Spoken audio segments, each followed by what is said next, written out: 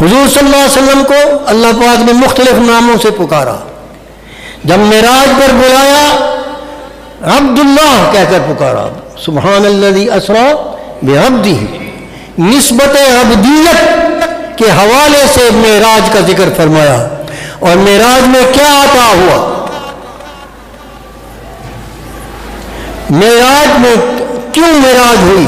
اس لیے کہ زندگی کے اختتام پر جب حد پر پہنچ گئے مسائب اور تربیت صحابہ کی انفرادی تربیت صورت مزمل اور صورت مدثر اور جو مکی صورتوں کے ذریعے سے ان کی نجی مجالس، نجی افعال، اعمال کا جائزہ لے کر اللہ نے گھر میں، میدان میں، رات کو، دن کی روشنی میں، رات کے اندھیرے میں ان کے اعمال کو جانچ کر